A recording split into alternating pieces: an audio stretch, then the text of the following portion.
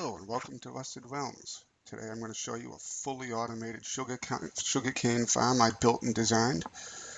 Let's go over here where there's no glass. You can see here just from the out, outside of it, it's just slime that pushes it off. Everything is built from a timer right here.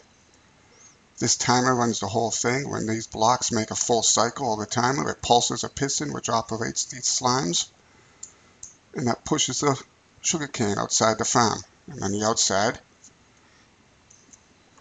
you'll see that there's hoppers here that travel to the various chests that are, I'm sure, completely full. So I haven't been using them for a while. There it is. So this is a 100% fully enclosed farm. You can put it anywhere you want, upstairs, downstairs, outside, inside, in a cave, under the ocean if you so desire. In fact, that's where we are now. This is the brains of the outfit.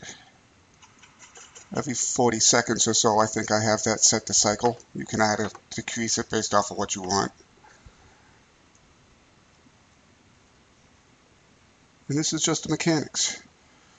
One sticky piston and a lot of slime, slime blocks. You can stack this as high as you want.